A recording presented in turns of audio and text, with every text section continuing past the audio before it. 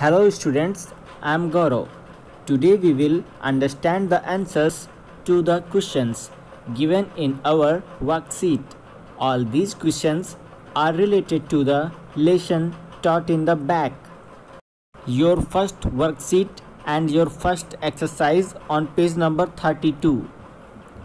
Exercise number A Fill in the blanks. Question number 1 A monitor looks like a television. Question number 2 We can listen to music on a computer.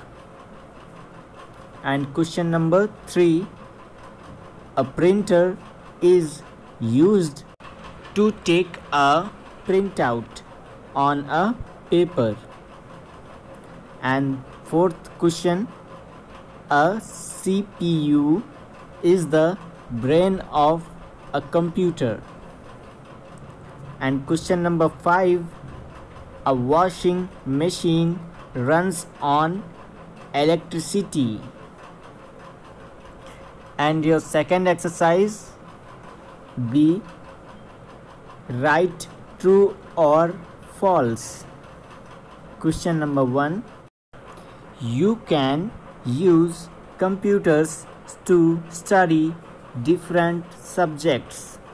Yes, it is true. Question number 2 A computer cannot be used to send messages. False. Question number 3 You can watch movies on the CPU. False. Because we use monitor to watch movies, not a CPU.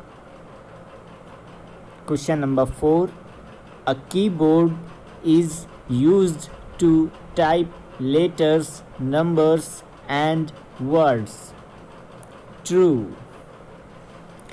Question number 5 The laptop computer is big in size. False. And your third exercise C. Name the following machines. You have to do this exercise yourself and you have to identify the names of the pictures given in this exercise and write it down. Your next exercise number D fill in the blanks by choosing two letters from the word computer and make new words. You have to do this exercise yourself. The names of the pictures given in this exercise are written incompletely which you have to complete.